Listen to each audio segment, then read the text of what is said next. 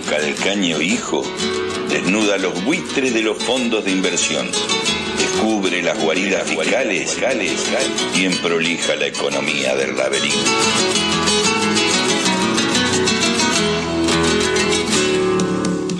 A ver, ¿qué es lo que tenía para contarles hoy? La semana pasada el INDEC publicó una serie de datos económicos muy preocupantes. El Producto Interior Bruto del primer trimestre cayó un 5,1%, la industria manufacturera cayó un 14%, el comercio 8%, la construcción 20%, un colapso. Pero la difusión de esos datos no generó ningún shock en la prensa, en los mercados, en el Congreso, mucho menos en el establishment económico. La semana pasada también nos enteramos que entre el cuarto trimestre de 2023 y el primero de 2024 se perdieron 600.000 empleos y que el desempleo subió de 5,7 a 7,7% de la población activa en un trimestre.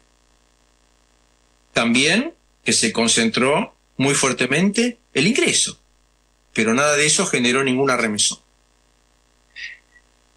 El miércoles pasado se publicaron los datos de los salarios para el mes de abril. Y ahí vimos que en términos reales estaban un 16% por debajo de su nivel de noviembre de 2023. Y esto tampoco causó ningún impacto en los mercados, ni en la prensa, ni en las redes sociales. Todos esos datos negativos tienen algo en común, y es que tienen que ver con la economía real, con el nivel de actividad, con el empleo, los salarios, la desigualdad, con la vida de la gente. Pero parece que nada de eso es importante para las altas esferas que nos gobiernan, ni para los mercados financieros, ni para las grandes corporaciones. Es como si no pasara nada. En cambio, esta semana comenzó con un gran nerviosismo.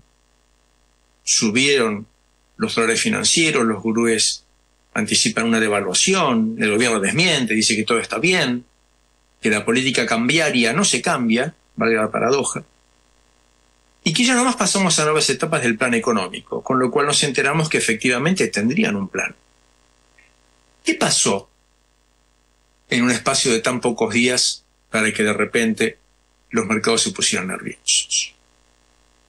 Todo parece haber comenzado con la conferencia de prensa que dieron el ministro de Economía, Luis Caputo, y el presidente del Banco Central, Santiago Bausili, el viernes pasado. En esa conferencia anunciaron que no van a cambiar prácticamente nada. Tal como estamos, vamos bien. O sea, anunciaron que no tienen nada que anunciar, salvo un tema más bien menor, que tiene que ver con el balance de los bancos, en vez de tener eh, letras del Banco Central o pases, van a tener bonos del Tesoro Nacional. Esto puede no ser del gusto de los bancos, ellos prefieren tener a creencias sobre el Banco Central antes que sobre el Tesoro, porque son colocaciones más seguras, el Banco Central siempre les va a poder pagar, puesto que emite el dinero para hacerlo.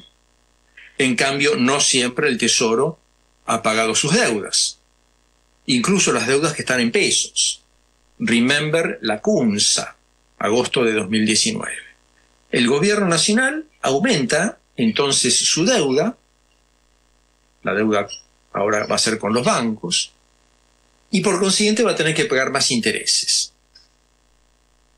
¿Y cómo los va a pagar? Bueno, se supone, por lo menos es lo que aseguró Milei, que no va a ser con financiamiento del Banco Central.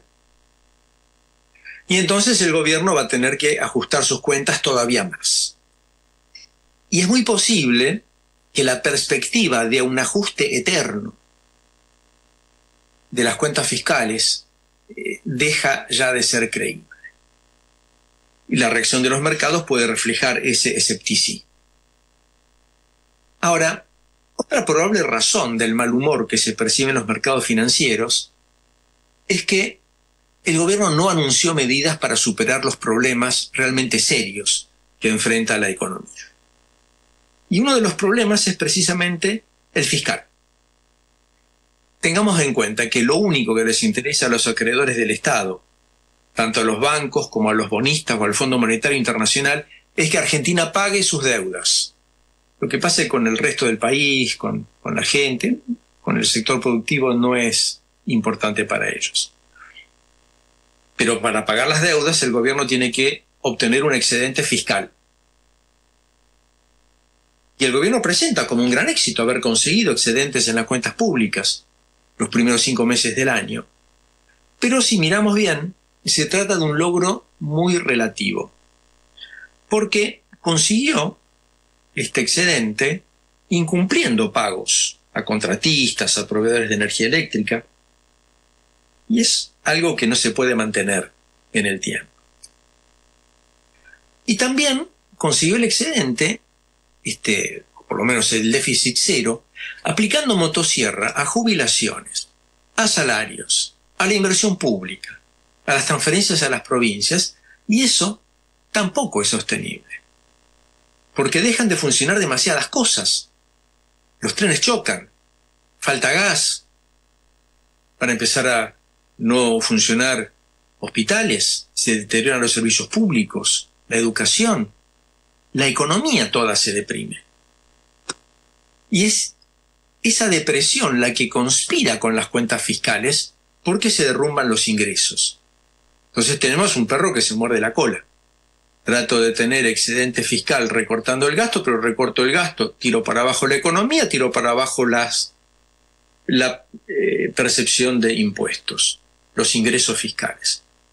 Entonces, no es un sistema sostenible eh, para mantener un equilibrio fiscal en el largo plazo.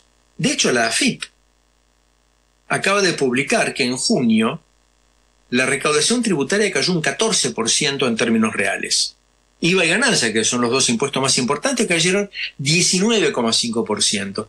Es una barbaridad. La única forma en que se podría recuperar la percepción de impuestos es con mayor crecimiento.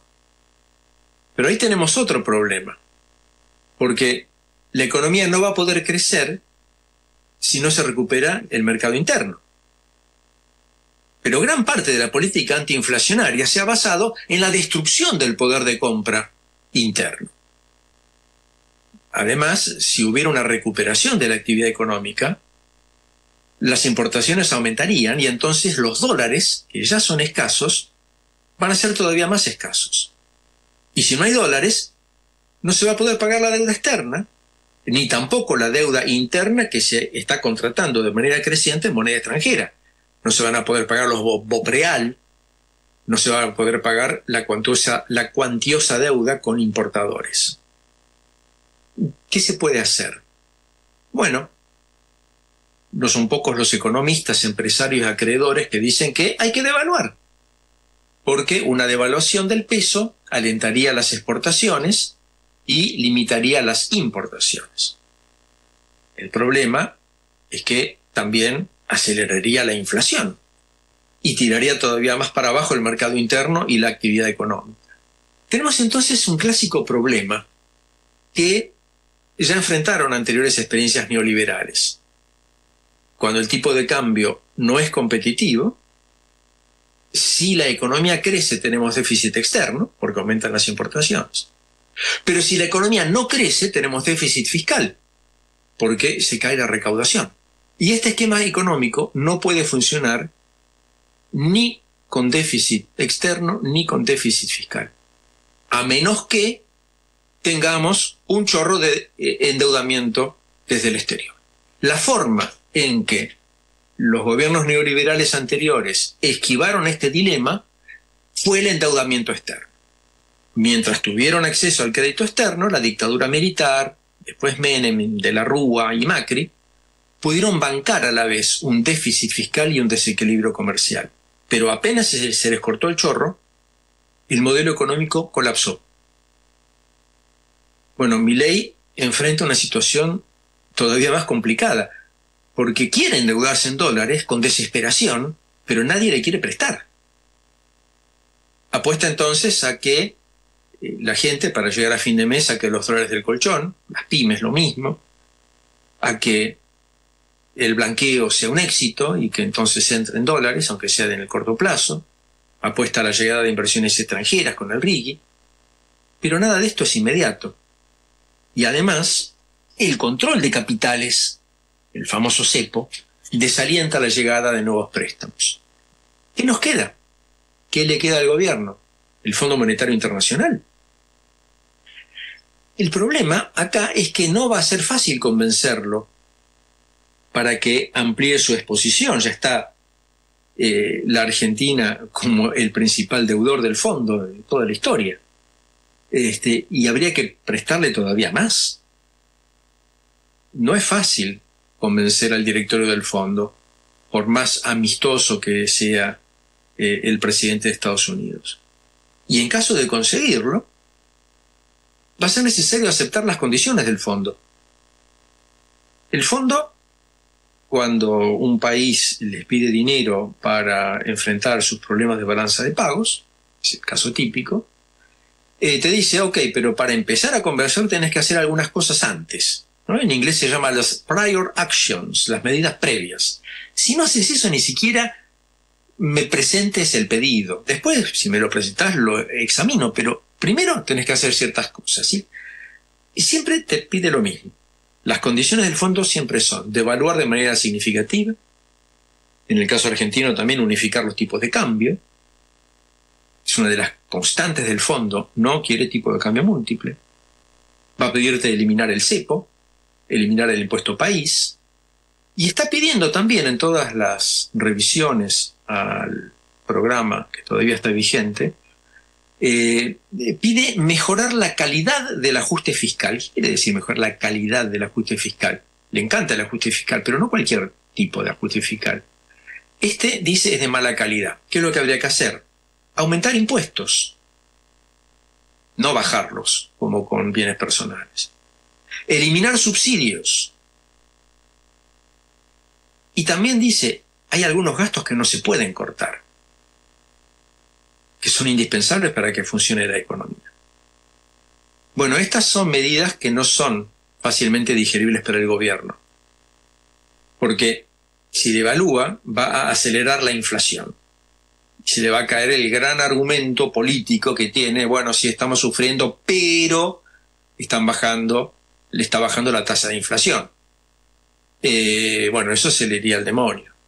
También una devaluación aumentaría la carga de la deuda que está contratada en dólares. O sea, se necesitaría más pesos para pagar eh, los intereses y los vencimientos de capital, que empiezan a ser significativos a partir de este mes.